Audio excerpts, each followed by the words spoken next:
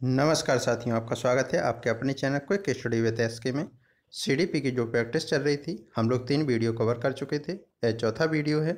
इसमें सारे selected question एवं प्रीवियस ईयर क्वेश्चन शामिल किए गए हैं, जो कि सीधे तौर पर परीक्षा में पूछे जाते हैं। आपके सी टेट और एमपी टेट के लिए बहुत ही महत्वपूर्ण वीडियो है तो आप लोग ध्यानपूर्वक देखें और अधिक से अधिक क्वेश्चन सही करने की कोशिश करें। ठीक है साथियों? और यदि अभी तक आप लोगों ने हमारा चैनल सब्सक्राइब नहीं किया तो ज़रूर करें साथियों। यदि वीडियो पसंद आता है तो लाइक, कमेंट और शेयर ज़रूर करें। अपने साथियों को भी इस चैनल के बारे में बताएँ। इस चैनल के माध्यम से आपको फ्री नोट्स एवं फ्री शिक्षा प्रदान की जाती है। तो इस तरह से हम, हमारा एकमात्र उद्देश्य है कि आप लोगों की अधिक से अधिक हेल्प हो सके और आप लोगों को कम समय में बेहतर शिक्षा दी जा सके। तो नोट्स प्राप्त करने के लिए आपको डिस्क्रिप्शन में जाना होगा, वहाँ पर आपको हमारा व्हाट्सएप नंबर मिलेगा, उस पर आप मैसेज करेंगे। वहाँ से आपको टेट रिलेटेड सारे नोट्स प्रदान किए जाते हैं। चलिए साथियों, शुरू करते हैं, देखते हैं आज का क्वेश्चन पहला है क्वेश्चन गार्डनर ने सात बुद्धि का अधिमान निर्धारित किया, इसमें से कौन सा नहीं, आपको बताना है। सामान्य संबंधी बुद्धि, भावनात्मक बुद्धि, अंतर्व्यक्तिक बुद्धि, भावात्मक बुद्धि। तो क्या सही आंसर है इसका? आपको बताना है तो इसका सही आंसर क्या है? भावात, भावनात्मक बुद्धि। अगला क्वेश्चन है आपका। क्वेश्चन नंबर ट्वेंटी सेवन है।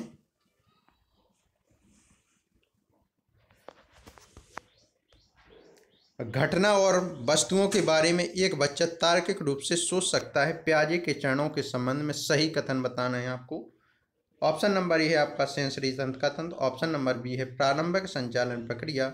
ऑप्शन नंबर सी है आपका मूर्त संचालन प्रक्रिया, ऑप्शन नंबर डी है आपका औपचारिक संचालन प्रक्रिया। तो क्या सही आंसर है आपका? मूर्त संचालन प्रक्रिया।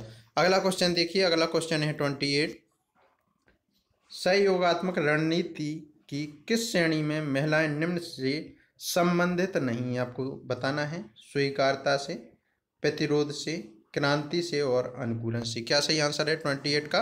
तो प्रतिरोध आपका सही आंसर है। अगला क्वेश्चन देखिए, अगला क्वेश्चन है ट्वेंटी नाइन व्यक्तिगत भिन्नता के मिलन के संबंध में एक अध्यापक की भूमिका होनी चाहिए, क्या होना चाहिए, ये आपको बताना है। ऑप्शन नंबर ये है आपका, व्यक्ति के दृष्टिकोण, अभिरुचि, योग्यता को जानने के प्रयास। ऑप्शन नंबर बी है, व्यक्ति आधारित पाठकों को उनकी आवश्यकता के अनुसार समझने की कोशिश। ऑप्शन नंबर सी है, उपरोक्त दोनों। ऑप्शन नंबर डी है, उपरोक्त में से कोई नहीं। क्या सही आंसर है आपका? उपरोक्त दोनों।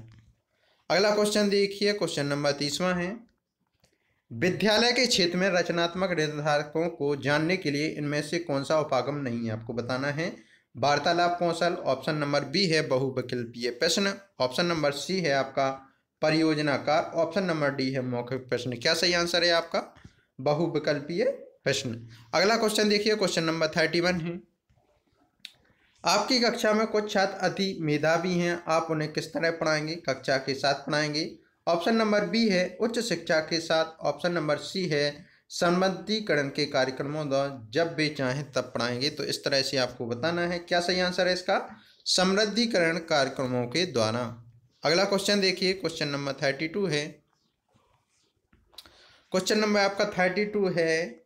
नैदानिक परीक्षा का मुख्य उद्देश्य है, वो क्या है, आपको बताना है। ऑप्शन नंबर ए है, कक्षा में प्रदर्शन के दौरान सामान्यतया कमज़ोर क्षेत्र को चिन्हित करना। ऑप्शन नंबर बी है, उपचारात्मक कार्यक्रम की विशेष प्रकृति की आवश्यकता। ऑप्शन नंबर सी है, अकादमिक घटनाओं के कारणों का पता लगाना। ऑप्शन नंबर डी है, छात्र की कठिनाइयों की विशेष प्रकृति को जानना। क्या सही आंसर है आपका? अकादमिक घटनाओं के कारणों का पता लगाना। अगला क्वेश्चन देखिए क्वेश्चन नंबर थर्टी थ्री है, और क्वेश्चन है, निचली कक्षाओं में शिक्षण की खेल पद्धति मूल रूप से आधारित है। किस पर आधारित है? शारीरिक शिक्षा कार्यक्रमों के सिद्धांत पर। ऑप्शन नंबर बी है आपका, शिक्षण पद्धतियों के सिद्धांत पर। ऑप्शन नंबर सी है, विकास एवं वृद्धि के मनोवैज्ञानिक सिद्धांतों पर। ऑप्शन नंबर डी है आपका, शिक्षण के समाज शास्त्रीय सिद्धांतों पर। क्या सही आंसर है थर्टी थ्री का? विकास एवं वृद्धि के मनोवैज्ञानिक सिद्धांतों पर।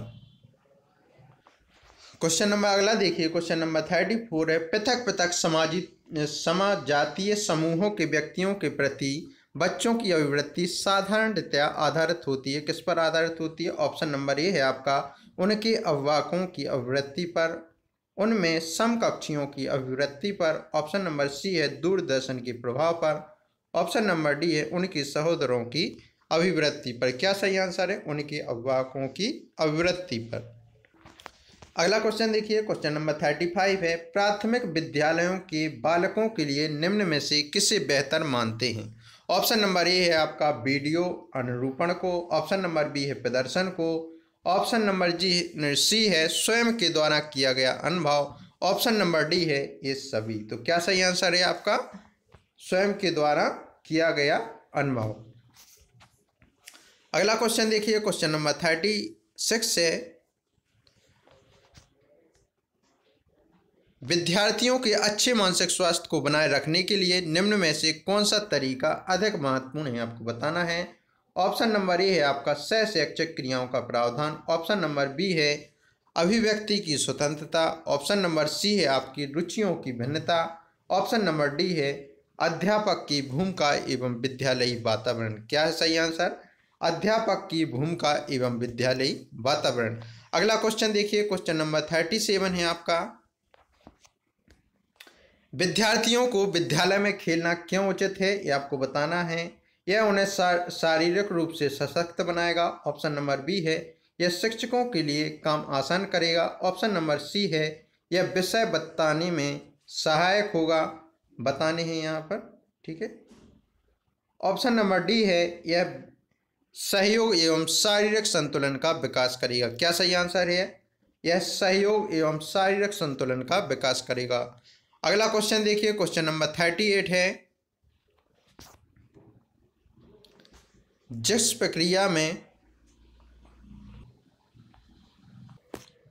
क्वेश्चन नंबर थर्टी एट है, जिस प्रक्रिया में व्यक्ति दूसरों के परिवार को देखकर सीखता है, न कि प्रत्यक्ष अनुभव से उसको कहा जाता है। सामाजिक अधिगम ऑप्शन नंबर बी है। अनुबंधन ऑप्शन नंबर सी है आपका। प्रायोगिक अधिगम ऑप्शन नंबर डी है। आकस्मिक अधिगम। क्या सही आंसर है आपका थर्टी एट का? सामाजिक अधिगम। यदि साथियों वीडियो पसंद आ रहा हो तो लाइक, कमेंट ज़रूर करें, अधिक से अधिक शेयर करें। साथियों, आप अपना सपोर्ट बनाए रहें। हम आप लोगों के लिए बहुत मेहनत करते हैं। आपका एक लाइक बनता है, एक कमेंट भी बनता है। इस तरह से आप लोग सहयोग करते रहें। यदि अभी तक हमारा चैनल सब्सक्राइब नहीं किया तो ज़रूर करें साथियों। अगला क्वेश्चन देखिए। क्वेश्चन नंबर थर्टी नाइन है। एक शिक्षक विद्यार्थियों में सामाजिक मूल्यों को विकसित कर सकता है। किस माध्यम से कर सकता है, वो आपको बताना है। ऑप्शन नंबर ए है, महान व्यक्तियों के बारे में बोलकर, कहानी सुनाकर। ऑप्शन नंबर बी है आपका अनुशासन की अनुभूति को विकसित करके। आंसर नंबर सी है आदर्श रूप से बर्ताव करके। ऑप्शन नंबर डी है उन्हें अच्छी कहानियाँ सुनाकर। किस तरह का आंसर है? आदर्श रूप से बर्ताव करके। अगला क्वेश्चन देखिए, क्वेश्चन नंबर फोर्टी है। कौन सा सिद्धांत व्यक्त करता है कि मानव मस्तिष्क एक बर्फ़ की चट्टान के समान है, जो कि अधिकांशता छिपी रहती है? ठीक है, ये आपको बताना है। गुण सिद्धांत, प्रकार सिद्धांत मनोविश्लेषणात्मक मनोविश्लेषणात्मक सिद्धांत। ऑप्शन नंबर डी है, व्यवहारात्मक सिद्धांत। क्या सही है का मनोविश्लेषण मनोविश्लेष विश्लेषणात्मक सिद्धांत। अगला क्वेश्चन देखिए, मन का मानचित्र संबंधित है। किससे संबंधित है? बोझ समझ बढ़ाने की तकनीकी से। ऑप्शन नंबर बी है, साहसिक कार्य की क्रिया योजना से। ऑप्शन नंबर सी है मन का चित्र बनाने से। ऑप्शन नंबर डी है मन की क्रियाशीलता पर अनुसंधान से। क्या सही आंसर है? मन की क्रियाशीलता पर अनुसंधान से। क्वेश्चन नंबर फोर्टी टू है आपका। क्वेश्चन नंबर फोर्टी टू देखिए। छोटे शिक्षार्थियों में निम्न में से कौन सा लक्षण पठन कठिनाई का नहीं है आपको बताना है? ऑप्शन नंबर ए है आपका पठन गति और पठन प्रवाह में कठिनाई। ऑप्शन नंबर बी देखिए, शब्दों और विचारों को समझने में कठिनाई। ऑप्शन नंबर सी देखिए, सुसंगत बर्तनी में कठिनाई। ऑप्शन नंबर डी है आपका, वर्ण एवं शब्द पहचान में कठिनाई। क्या है फोर्टी टू का आंसर पठन गति और प्रवाह में कठिनाई। अगला क्वेश्चन देखिए क्वेश्चन नंबर फोर्टी थ्री है। भारतीय समाज की बहुभाषिक विशेषता को देखा जानी चाहिए किस माध्यम में? ऑप्शन नंबर ए है आपका विद्यालय जीवन को समृद्ध बनाने के संसाधन के रूप में। ऑप्शन नंबर बी है विद्यार्थियों को सीखने के लिए अभिप्रेरित करने हेतु, शिक्षक योग्यता की चुनौती के रूप में। ऑप्शन नंबर बी है, सी है आपका शिक्षार्थियों के लिए विद्यालय जीवन को एक जटिल अनुभव बनाने के रूप में, एक कारक के रूप में। ऑप्शन नंबर डी है आपका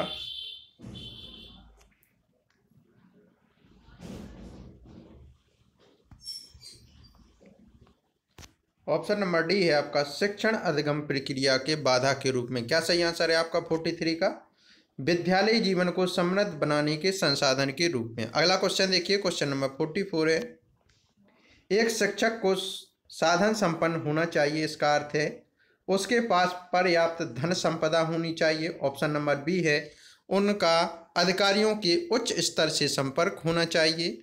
ऑप्शन नंबर सी है आपका उन्हें अपने विद्यार्थियों की समस्याओं को हल करने को पर्याप्त ज्ञान होना चाहिए। ऑप्शन नंबर डी है, विद्यार्थियों के बीच उनकी प्रसिद्धि होनी चाहिए। क्या सही आंसर है उनका?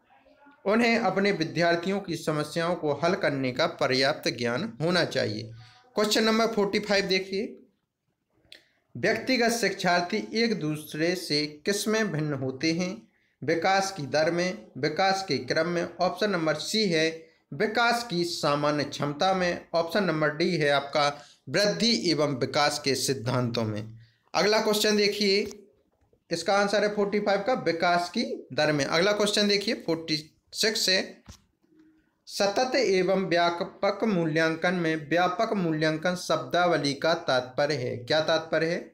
ऑप्शन नंबर ए देखिए, सभी विषयों का मूल्यांकन। ऑप्शन नंबर बी है सह शैक्षिक क्षेत्र का मूल्यांकन। ऑप्शन नंबर सी है शैक्षिक एवं शैक्षिक क्षेत्र का मूल्यांकन। ऑप्शन नंबर डी है शैक्षिक क्षेत्र का मूल्यांकन। क्या सही आंसर है फोर्टी सिक्स का? शैक्षिक एवं शैक्षिक क्षेत्र का मूल्यांकन। अगला क्वेश्चन देखिए, क्वेश्चन नंबर फोर्टी सेवन है। मूल्यांकन का उद्देश्य है। मूल्यांकन का क्या उद्देश्य है, आपको बताना है। ऑप्शन नंबर ए है बालकों को धीमी गति से सीखने वाले एवं प्रतिभाशाली बच्चों के रूप में लेबल करना। ऑप्शन नंबर बी है, जिन बालकों को उपचारात्मक शिक्षा की आवश्यकता है, उनकी पहचान करना। ऑप्शन नंबर सी है, अधिगम की कठिनाइयों व समस्याओं को अपने छात्रों के क्षेत्रों को, अपनी समस्याओं वाले क्षेत्रों का पता लगाना। ऑप्शन नंबर डी है आपका, उत्पादक जीवन जीने के लिए शिक्षा की सीमा तैयार कर पाई को पुष्टि पोषण प्रदान करना। क्या सही आंसर है तो आपका? ऑप्शन नंबर डी एकदम सही आंसर है। उत्पादक जीवन जीने के लिए शिक्षा की किस सीमा तक तैयार कर पाई है को पुष्टि पोषण प्रदान करना। क्वेश्चन नंबर फोर्टी एट देखिए। कक्षा में विद्यार्थियों की रुचि बनाए रखने के लिए शिक्षक को उचित है या आवश्यक है? ऑप्शन नंबर ए है आपका, श्याम पट का प्रयोग करना। ऑप्शन नंबर बी है चर्चा करना। ऑप्शन नंबर सी है कहानी कहना। ऑप्शन नंबर डी है प्रश्न पूछना। क्या सही आंसर है आपका? प्रश्न पूछना। क्वेश्चन नंबर फोर्टी नाइन देखिए, दबाव को कम करने एवं परीक्षाओं में सफलता के लिए क्या आवश्यक है आपको बताना है। ऑप्शन नंबर ए है आपका, कम अवधि में परीक्षाओं में अंतरण। कम अवधि की परीक्षाओं में अंतरण। ऑप्शन नंबर बी है, विद्यालय शिक्षा की विभिन्न चरणों में परीक्षा का आयोजन। ऑप्शन नंबर सी है, वार्षिक एवं अर्धवार्षिक परीक्षाएँ। ऑप्शन नंबर डी है, विभिन्न प्रवेश परीक्षाओं के लिए विभिन्न एजेंसियों की स्थापना। क्या सही आंसर है? कम अवधि की परीक्षाओं में अंतरण। क्वेश्चन नंबर फिफ्टी है, जो कि लास्ट क्वेश्चन है आज का। विवेचनात्मक शिक्षा शास्त्र का यह दृढ़ विश्वास है कि एक शिक्षक को हमेशा कक्षा कक्ष के अनुदेशन का नेतृत्व करना चाहिए। शिक्षार्थियों को स्वतंत्र रूप से तर्क नहीं करना चाहिए। ऑप्शन नंबर सी है, बच्चे स्कूल से बाहर क्या सीखते हैं? अप्रासंगिक है। ऑप्शन नंबर डी है आपका, शिक्षार्थियों के अनुभव और प्रत्यक्षण महत्वपूर्ण होते हैं। क्या सही आंसर है आपका? शिक्षार्थियों के अनुभव और प्रत्यक्षण महत्वपूर्ण होते हैं। साथियों तो यह था आज का वीडियो, जो कि चौथा था। अगल अगला आपका पांचवा वीडियो आएगा तो कैसा लगा साथियों वीडियो, ज़रूर बताएँ।